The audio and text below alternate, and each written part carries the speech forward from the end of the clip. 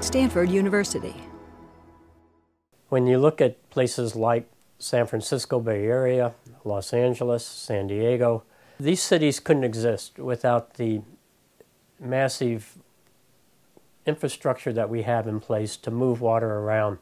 We're at the limit of the capacity of those systems to supply our water needs uh, during the time of drought and in the future with population increase and with uh, climate change.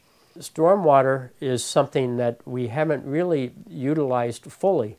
And now we look at stormwater in a new, in a new light. Um, not something just to be put into the ocean as quick as you can, but rather as a way to augment our urban water supplies. In, in Sonoma County, we're looking at ways in which we could uh, capture and treat that stormwater to remove contaminants.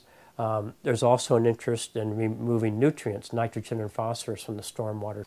In Los Angeles, we're working with the city to help design a system that would convert a former rock quarry into a stormwater capture and treatment and recharge system.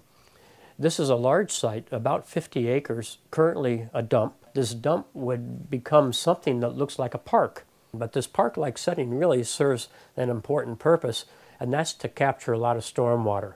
In that area, you're adjacent to the Los Angeles River where the ground is very permeable, so there's a good place to put that water. The question is, is how can we do that in a way that we can be sure that we're not contaminating groundwater?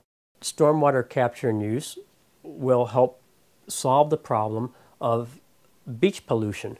And in the wintertime, when you have heavy storms, the beaches get contaminated by all this uncontrolled uh, stormwater that rushes down into places like Santa Monica Bay. A properly designed facility, one that looks more like a park, provides community amenities. So in the end, stormwater provides an opportunity to augment water supply.